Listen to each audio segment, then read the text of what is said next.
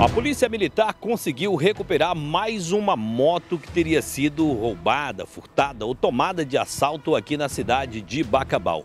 Uma moto Bros Copreta acabou sendo recuperada na operação que a Polícia Militar vem encadeando aqui na cidade de Bacabal. Estou aqui justamente no local onde a polícia está realizando aqui é, uma, uma blitz, né, aqui na estrada da Bela Vista, aqui na entrada, né, a, da estrada da Bela Vista. E aqui eu vou mostrar já para vocês esta moto Bros que acabou sendo é, recuperada nesse, nessa ação, nesse trabalho que vem sendo realizado pela Polícia Militar, comandada aqui pelo Major é, Araújo, né, da Polícia Militar, que acabou aqui recuperando essa moto, né, gente? O que dá para ver aqui, pessoal, é que possivelmente ela teve a sua cor adulterada, né?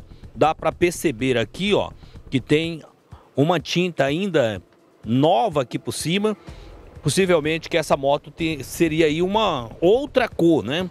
Está aqui à disposição do seu verdadeiro dono, né?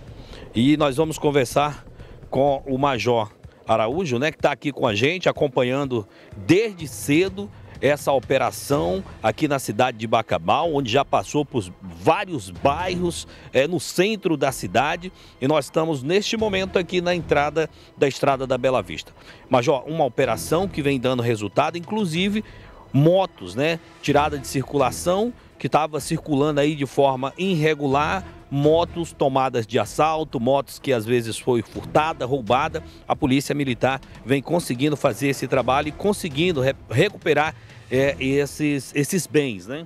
É, com certeza. Resultado da Operação Médio Mearim Seguro, que está sendo desencadeada aqui na área do CPA-1, né, sobre comando aí do, sob comando do Coronel Túlio, onde o mesmo nos delegou essa missão essa operação ela aconteceu hoje na cidade de Bacabal, amanhã será em outras cidades da área do CPA. É reflexo da operação é, Médio Médio Seguro, que está sendo desencadeada aqui na, na, na área do CPA-1, sob comando do Coronel Túlio.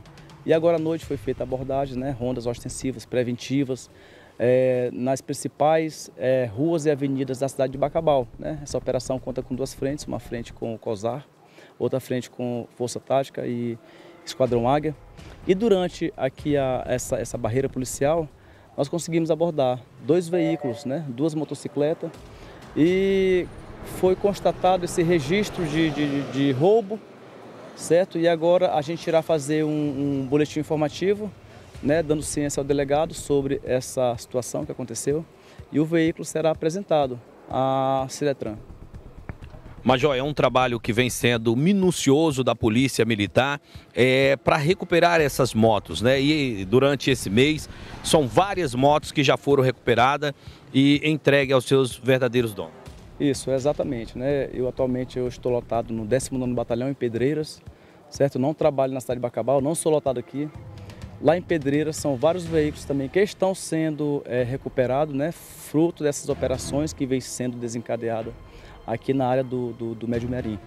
E nós estamos incumbidos né, de, de, realizar essa operação aqui na, na, área de Bacabal, também na outros batalhões próximos. E a gente tem recuperado muitos veículos né, que haviam sido roubados, furtados e sendo entregues a seus verdadeiros donos.